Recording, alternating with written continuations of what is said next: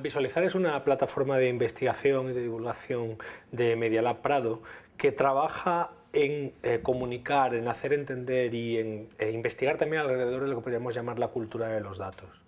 Y por la cultura de los datos entendemos las implicaciones que tienen muchos ámbitos, en la sociedad, en la política, por supuesto también en la economía y en la empresa, pero también en la manera en que nos comunicamos y nos relacionamos. Un hecho que creo que todos conocemos de manera um, instintiva, que es que cada vez eh, disponemos de más y más cantidades de información sobre prácticamente casi cualquier cosa. En los últimos años hemos tenido un uh, incremento exponencial sin precedentes sobre nuestra capacidad para generar información y almacenar información.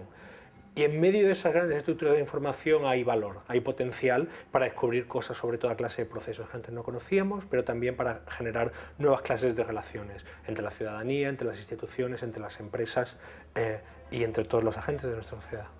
Durante mucho tiempo la información que generaban toda clase de procesos se consideraba en buena medida un resultado de estos procesos, también era un elemento fundamental obviamente en la investigación científica, en el desarrollo tecnológico, pero permanecía en un estado relativamente opaco, era algo así como un medio necesario para desarrollar un fin.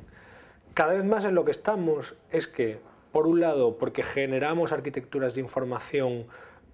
de manera no necesariamente deliberada, sencillamente por eh, el funcionamiento operativo de los sistemas contemporáneos mediados por tecnologías. Es decir, hoy en día las grandes estructuras de información son pura y exclusivamente consecuencia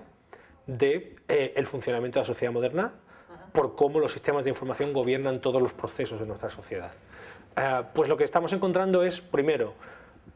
un interés en ver cuál es el valor potencial que se esconde en este material, la idea de que los datos pueden ser una materia prima de, primer orden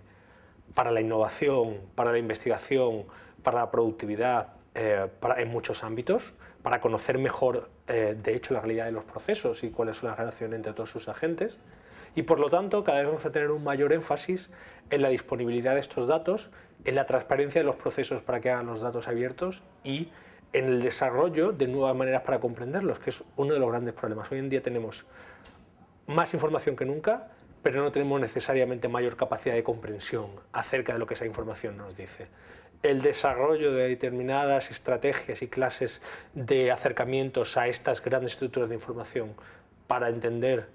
qué nos enseñan sobre nosotros, sobre nuestra sociedad y sobre el mundo, se va a convertir en una prioridad de primer orden. Eh, este año en Visualizar hemos escogido un tema eh, que es representativo de este acercamiento. El tema es comprender las infraestructuras y tiene que ver de una manera muy directa con cómo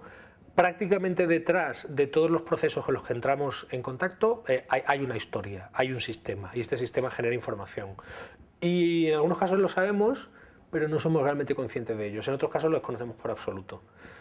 Entonces, contar la historia de una situación cotidiana hoy, por ejemplo, cuando entras en una habitación y enciendes la luz,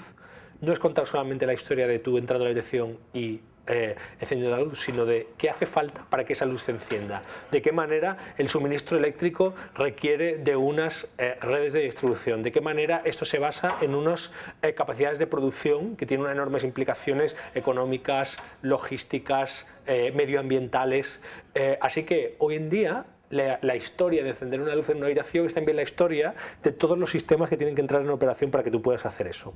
Como estos sistemas cada vez generan más información, eh, los proyectos que este año vamos a desarrollar van a mirar a distintos fenómenos y realidades a través de esa información que generan. Entonces hay proyectos que, por ejemplo, hablan de, las grandes redes de logística que nos ponen la comida en la mesa todos los días. Sabemos, por ejemplo, que la comida, la verdura y la fruta fresca llega a los grandes mercados centrales de distribución, pero sabemos realmente qué es necesario para que esa fruta llegue hasta allí, de dónde procede, qué impacto económico, medioambiental, energético tiene, etc. Eh, este será, por ejemplo, uno de los proyectos que desarrollaremos. Y otro proyecto miran a otras infraestructuras esenciales de nuestra sociedad como los sistemas financieros, los grandes agentes de la sociedad de la información como Google y Facebook, etcétera.